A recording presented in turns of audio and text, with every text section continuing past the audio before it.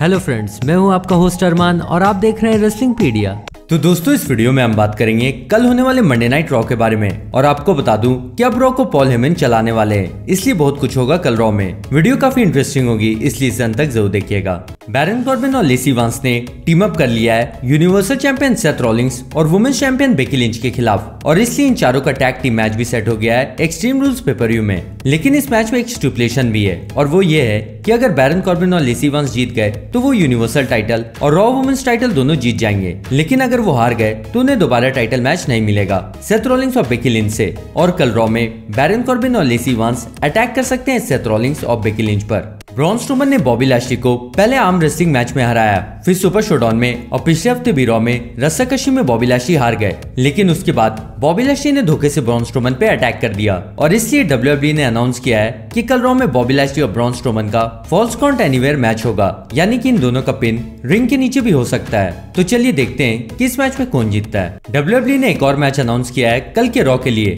the New Day versus the Viking Raiders दोस्तों, जैसा आपने पिछले हफ़्ते देखा होगा कि समोजो ने कोफी किंगस्टन पे अटैक कर दिया था, और इसलिए इन दोनों का मैच सेट हो गया Extreme Rules pay per view में डब्ल्यू चैंपियनशिप के लिए, और कल रॉ में भी समोजो कोफी किंगस्टन पर अटैक कर सकते हैं। पिछले हफ़्ते रॉ में रोमन एक्स पर शेन मिकमैन और ड्रू मैकेंटायर दोनों मिलकर हावी हो गए थे, लेकिन रोमन एक्स की मदद करने अंडरटेकर आ गए। दोस्तों, रोमन एक्स ने भी नहीं सोचा होगा कि अंडरटेकर उनकी हेल्प करने आएँगे, और उसी दिन डब्ल्यू ने भी अनाउंस कर दिया कि अंडरटेकर और रोमन एक्स टीम अप करके फेस करेंगे शेन मिकमैन और ड्रू मैकेंटायर को Extreme Rules pay per view में, और पूरे चांसेस हैं कि कल रॉ में अंडरटेकर आ सकते हैं। शेन मिकमैन और ड्रू मैकेंटायर पे अटैक करने के लिए। और इस काम में उनका साथ रोमन रेक्स भी देंगे। वैसे दोस्तों, आपको अंडरटेकर और रोमन रेक्स की टैग टीम कैसी लगी? कमेंट्स में मुझे ज़रूर बताइएगा। एजे स्टाइल्स ने लास्ट वीक रॉ में new United States champion Ricochet को सिंगल्स मैच में हरा दिया था।